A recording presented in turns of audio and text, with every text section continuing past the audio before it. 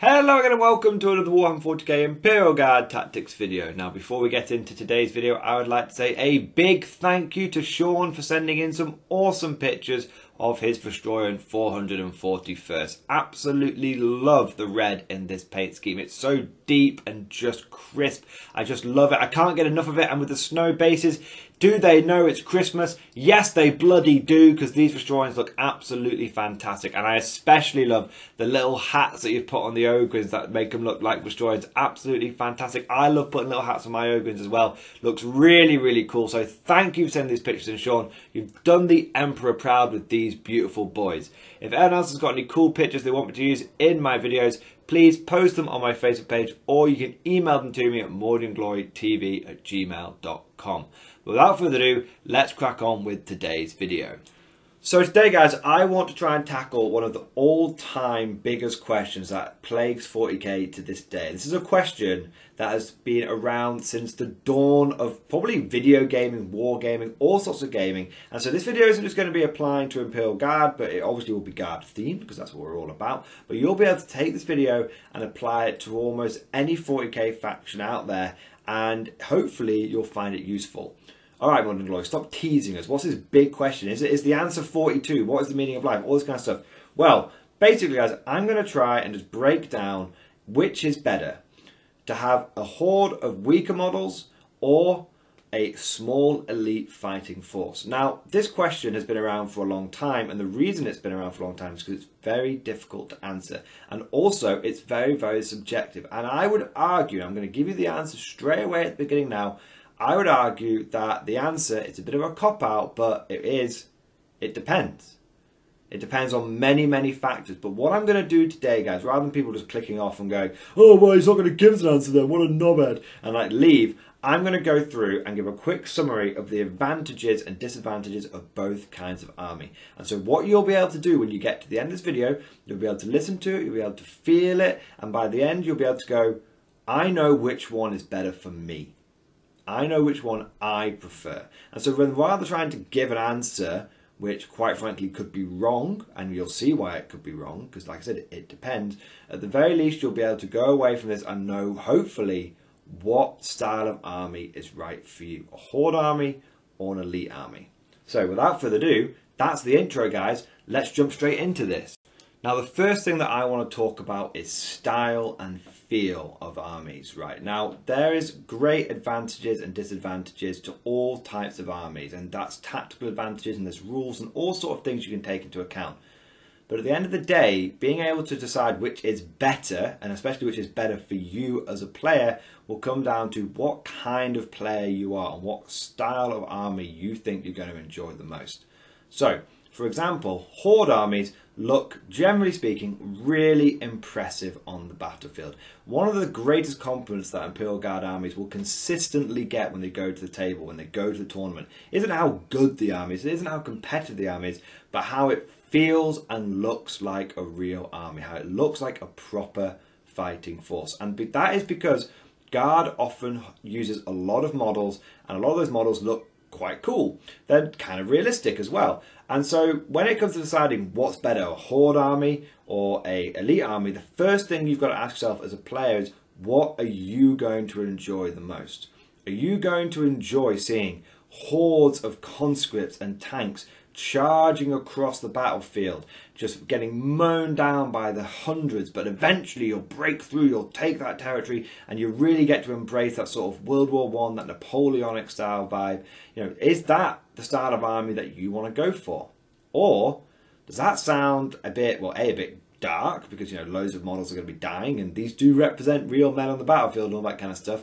Or, and do you not like the idea of just, you know, waves of conscripts getting thrown down? I mean, at the end of the day, waves of conscripts getting mown down is not a good military tactic. I mean, as much as the Tactica Imperialis might tell us it is, you know, modern militaries have definitely progressed beyond that. And so, what you might want to ask yourself is, I want a guard army, or I want a marine army, or I want a custodians army, whatever it is, but I don't want to have essentially a big horde of models. I want to have an elite strike force. And what I find cool and what I find effective and what I find interesting is having an elite fighting force, not the hordes of henchmen and NPCs, but having that elite strike group. That, you know, every one of my men is worth 10 of their men. And it's just, that's the way I want to play in my army. And I want to see my opponent throwing waves of, you know, NPCs at me, waves of conscripts at me, and I bash them all away and I still achieve my objective despite the fact that I was outnumbered and maybe even outgunned at times.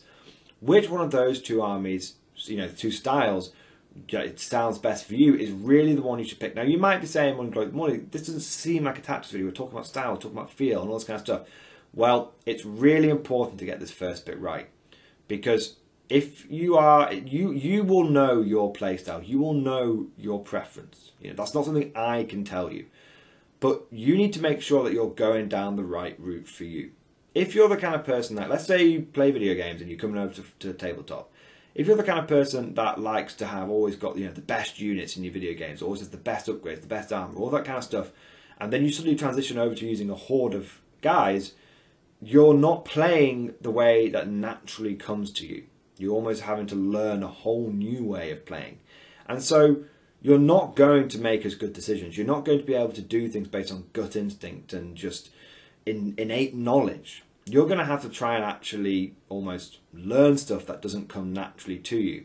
And you'll be fighting your own nature. And that is a recipe for disaster.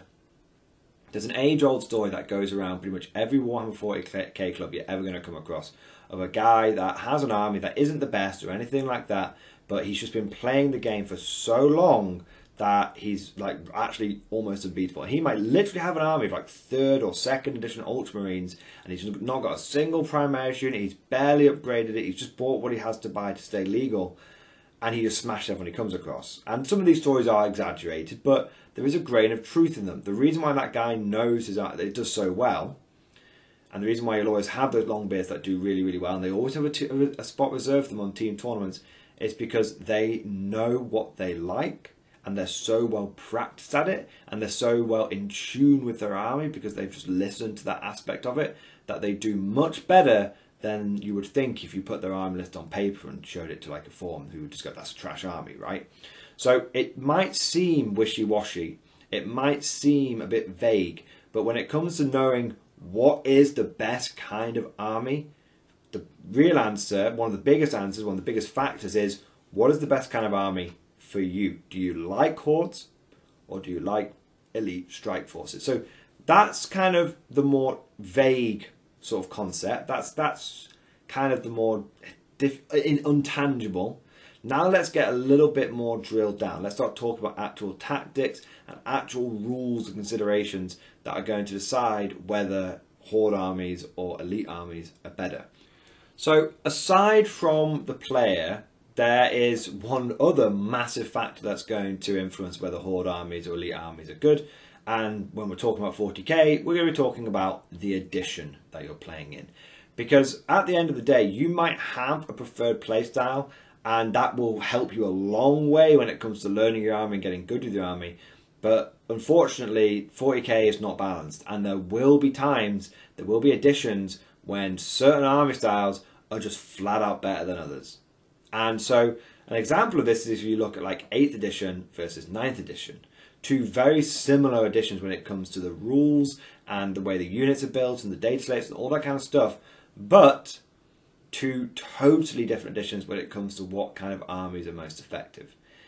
8th edition, especially at the beginning, was very much the edition of hordes. You know, you had the Boogeyman army, which was hundreds of conscripts backed up by commissars that swept all before it. And there were so many memes made about Guard about how they were horrible to play against, and you know, oh, you know, show us your fun faction, but not you, sort of pointing at the Guard and all that kind of stuff. And so, back in 8th edition, hordes were the way to go. And the reason why that was the case was because of the way the objectives and the missions and everything worked. And there weren't like cumulative objectives really or anything like that. It was a case of holding the most by the end. It was quite traditional 40k, how many editions have been. And so the fact that the way 8th edition worked and the way the AP system had changed and all this kind of stuff meant that hordes were the way to play, and that guard were really, really strong at the beginning of 8th edition. It's, it's hard to imagine now, if you're coming across this video on the day of recording, you know, sort of 13th of, uh, of, of June 2022, but it's hard to imagine now, but Guard were once the top tier faction, and that was because we were a shooty horde army, and the reason we and we were unbreakable thanks to conscripts and so and commissars. And so what used to happen is we would cover huge amounts of the board, we would be able to move move around, we'd be able to take all the objectives, and what was important in that edition wasn't so much force concentration, but was combat width. And we've talked about this concept before, concentration versus combat width. But it's probably worth me doing another video on it at some point. And so force combat width was important in 8th edition. Now we come over to 9th edition and it's a totally different ball game. You know, it's a totally different ball game. You have got a situation now where objectives are cumulative, where um, secondary objectives are apparently specifically tailored against armies that like to field large amounts of units. You've got thin the ranks, you've got, whatever it's called these days, you've got uh, them down, you've got um, bring it down, you know, all of these things that can be stacked up against us that basically mean if you take lots of tanks, because you can take horde tanks as guard, you're screwed, take all the infantry, you're screwed. So, ninth edition is certainly not the edition for horde. So if you wanted to answer right now what is better in ninth edition, I would say elite armies are better than horde armies right now in 9th edition. If you'd asked this question of me three years ago, two years ago, I would have said hordes are better than elites. And so this is kind of one of the reasons why this question will never truly be answered. But if you want an answer sort of like right now in the moment, it's because editions wax and wane, things change. You know, unit types and army types change all the time. And that's more than likely by design by Games Workshop to help keep things fresh and to keep people wanting to buy new models and all that kind of good stuff. I mean, their business at the end of the day, that's what they want to do, right? But right now, I would say that elite armies are better, and that's because you can just you know force the boards are smaller, so combat width means less because in an army that's elite doesn't have to travel as far now, and all this kind of other stuff. So right now, I would say elite armies are better. There are some exceptions to this, like for example, you do have conscript horde armies where if you take 300 plus conscripts you can do great things. But you know look at all of the traditional horde armies like green tide is dead you know. Um, apart from like conscript spam and other, other stuff kind of stuff like infantry guard is starting to struggle a little bit with the level of lethality that we're finding out there at the moment. I mean i lost 200 infantry in one turn at the last tournament i went to. That's insane. Um, you know, and then you, you know, Tyranid hordes, despite the buffs that Termagants have had, you're not seeing many people taking them. It's all about the big bugs again, right? So right now, 9th edition isn't good for hordes, and so right now, elite choices are better. But 10th edition could come along, and it could be totally the opposite. It could be hordes are back on the menu again, and so that's why it's difficult to ever answer this question truly. But it is something that you want to be able to be aware of, like the end of the day, there will be additions when hordes are better, and there will be additions when uh, elite units are better. Now, before we wrap up to today's video, I want to just go through a couple of advantages and disadvantages of each kind of army. So we've talked quite high level at the moment. We've talked about general considerations as you as a player. We've talked about the addition that you might be in, which is a huge thing to talk about, like the whole addition in one go. Let's now break it down. I just want to do some almost rapid fire points on the advantages and disadvantages of force concentration, combat width, the advantages of being elite, the advantages of being uh, a horde army. So first thing to talk about with the advantage of being elite is force concentration. You've heard me mention this a little bit already in the video, but what force concentration means is like if you can concentrate your army's force, if you're an elite army, then that means that you can, for every point on the battlefield, you can apply more damage, you can apply more force than your opponent can do. You see, let's say you've got, you know, three units of infantry squads versus a unit, you know, a unit of custodes, right? Those three infantry squads might equal similar points to that custodian squad, but they're never going to win a fight against them. You know, five custodians will tear their way through 30 guardsmen every day of the week and so they should. They're the golden boys. They're the emperor's finest warriors. but they're an equal points value roughly. So how does that work? I mean, surely they should be equal, right? Well, no, because the Custodes have the advantage of the fact that they have a lot more firepower in a smaller package, and they can win pretty much any one-on-one fight that you're going to throw them against. So that's the advantage of force concentration. The disadvantage is, and this is where combat width gets a huge advantage, is that those Custodes can only be in so many places at once. They are one unit, whereas the three garrison squads are three units. That one unit of Custodes, even if it strings out quite heavily, will probably only ever be able to sit on one objective. Those three garrison squads can each sit on an objective. They have much higher board presence. That unit of custodians is relatively slow. I mean, every faction has tricks for getting around the board, don't get me wrong.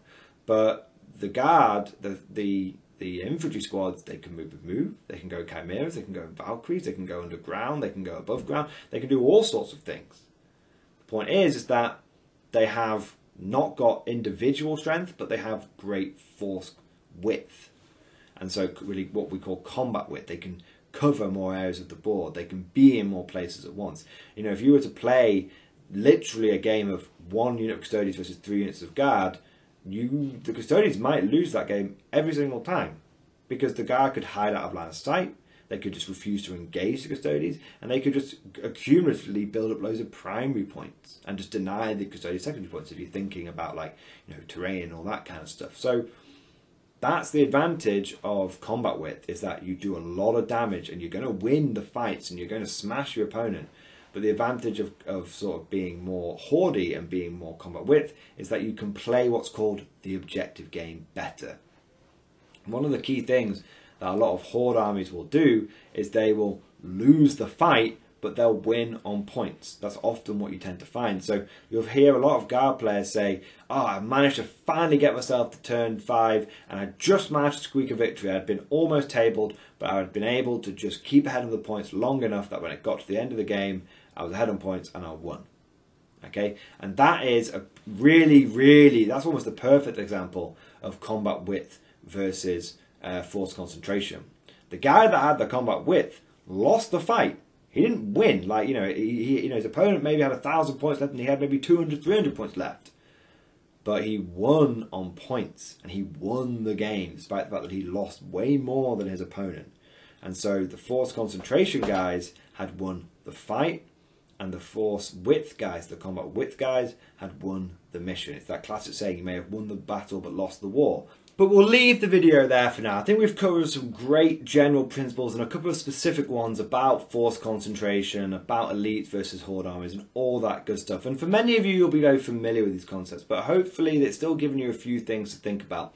And what I would highly encourage anyone that is very familiar with this kind of idea of force concentration, elites and hordes and that kind of stuff, and you think I've missed anything, I think there's a great point that you can add to the video, put it down in the comment section below. There's always so much great information down in that comment section. If you're a newer player or a person who stumbled across this video for the first time, I highly recommend you check out the comment section. There's a fantastic community around here at the Mordian Glory channel, and a lot of the best bits of these videos aren't even in the videos, they're in the comment section down below. Um, so I hope you have enjoyed today's video. If you have, of course, please consider giving it a like, subscribe, comment, all that good stuff. All that interactivity boosts the algorithm. But if you've really enjoyed today's video, please consider becoming a channel member or a Patreon supporter. It's thanks to my channel members and Patreon supporters that this channel has been able to go from strength to strength. And we're now looking at potentially full-time Mordian Glory going forward, which would be absolutely fantastic, game-changing, life-changing even. So massive thank you to those people that are already channel members. Massive thank you to those people that are Patreon supporters. You guys know how much I appreciate you, but I like to make a big deal out of it because I just love my Patreon supporters and I love my channel members. Before we end the video, I do want to make a special effort and just say a huge personal thank you to some of our top tier Patreon supporters. I want to say thank you to August Varney. I want to say thank you to John Stubbs for being Lord Generals and subscribing at the top tier of Mordian Glory Patreon. You guys are absolutely fantastic and your generosity genuinely blows me away. So massive thank you to you guys.